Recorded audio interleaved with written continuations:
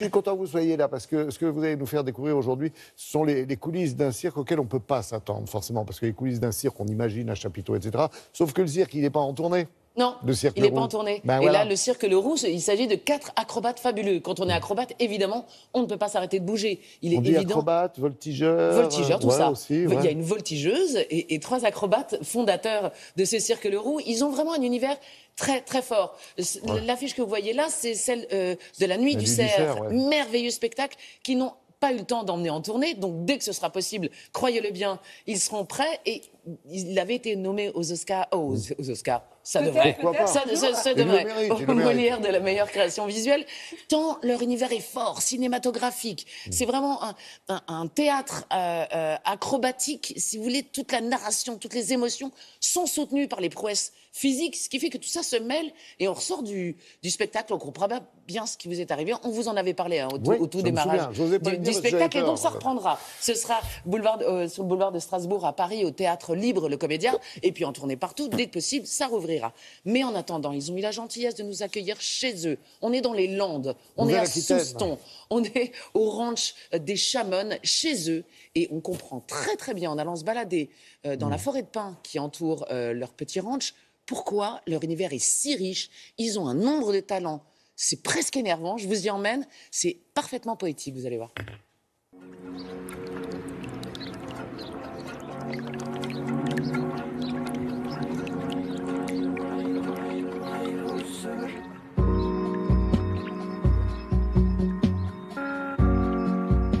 On vous accueille chez nous.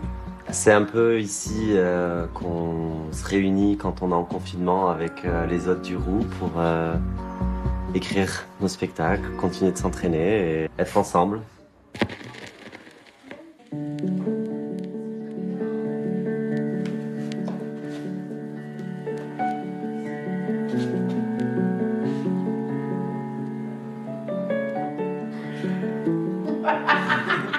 On essaie de s'entraîner le plus régulièrement possible, euh, voire chaque jour ou quelques fois par semaine, mais on dirait que c'est difficile à voir le but quand tu fais pas des spectacles, mais on sait que ça va reprendre à un moment donné.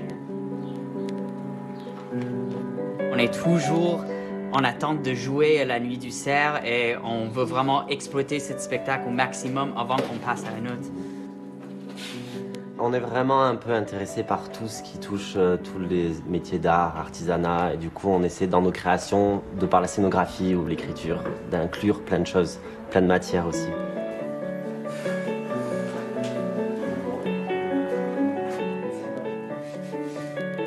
Depuis tout jeune, on s'entraînait toujours dehors sous les arbres. euh, du coup, c'est comme vraiment une partie intégrante de nos créations.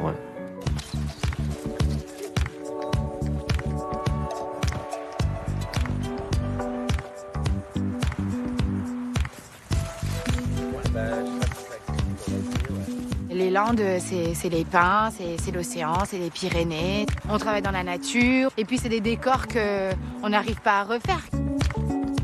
Comme je suis voltigeuse et que du coup je suis amenée bien évidemment à voler, entre guillemets, euh, d'être au milieu des grands arbres, c'est comme si j'avais des choses un peu euh, à hauteur. Ça, ça change et aussi ça m'amène à du coup à vouloir euh, me surpasser pour essayer d'aller encore plus haut, au même niveau. Ça arrive pas, mais j'aimerais.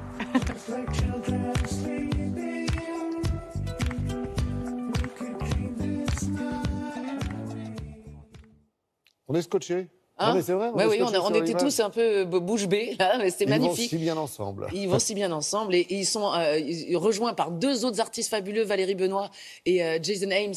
Euh, euh, pour euh, ce- cette nuit du cerf. Dont vous voyez là les costumes incroyables. Et il faut parler de, de leur ancrage dans leur territoire que c'est très important pour eux dans cette période où, où eux qui sont habitués à tourner. Là ils se ressourcent. Ils ont les deux pieds plantés dans les racines landaises pourtant ils viennent pour certains des États-Unis ils se sont croisés au Québec à New York en tournée et puis ils ont décidé de s'installer là dans les Landes et ils sont en train de créer tout un tissu social, euh, culturel, euh, d'artisanat, de savoir-faire dans ce coin de Souston et des Landes.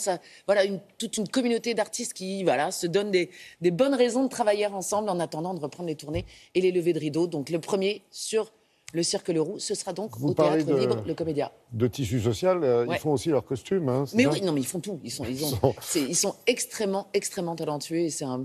On a hâte de les revoir sur scène, mais on était heureux de les découvrir chez eux. On comprend mieux leur univers. Vous savez